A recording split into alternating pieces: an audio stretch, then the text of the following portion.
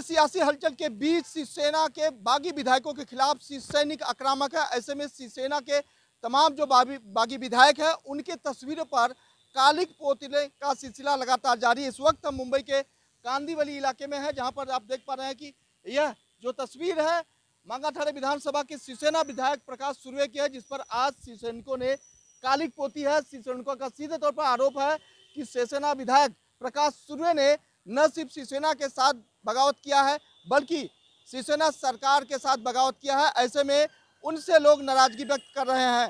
हालाँकि एक नाथ शिंदे के साथ जब प्रकाश सूर्य गए थे, उस दौरान उनके दफ्तर के बाहर भी जमकर हंगामा शिवसैनिकों ने किया था और यह मांग की थी कि शिवसेना के विधायक प्रकाश सूर्य बागी विधायक के तौर पे हैं। ऐसे में बिना बताए वह उद्धव ठाकरे के साथ दगाबाजी किए हैं। तस्वीरें दिखाएँगे एक और।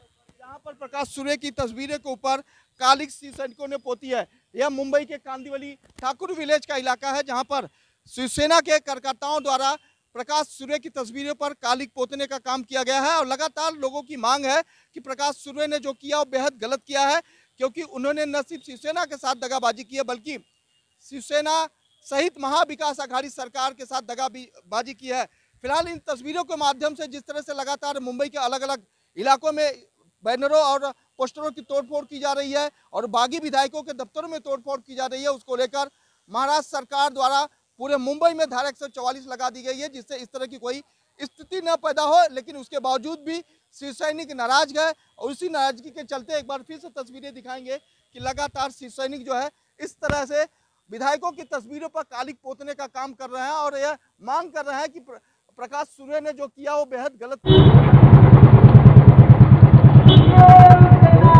जिंदाबाद